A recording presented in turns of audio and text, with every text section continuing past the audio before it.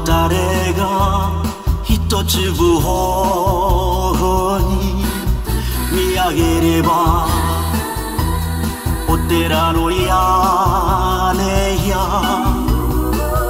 細い道濡らして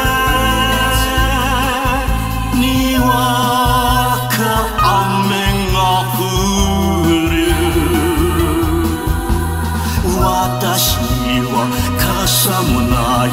滝をせる人もない。一人ぼっち。泣きながら。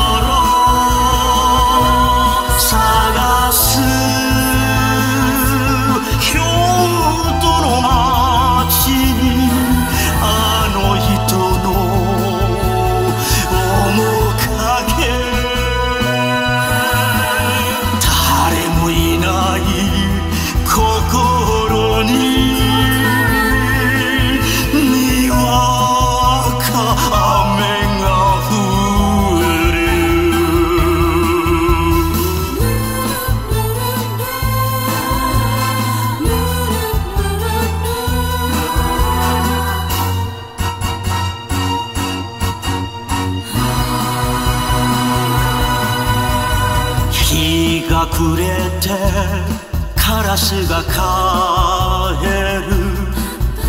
人は皆家路を急ぐ。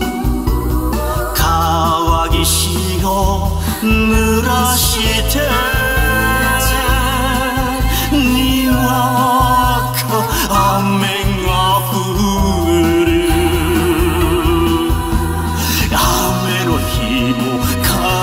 なる。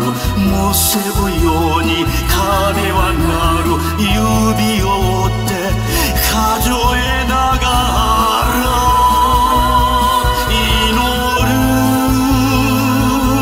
京都の街にあの人の幸せ。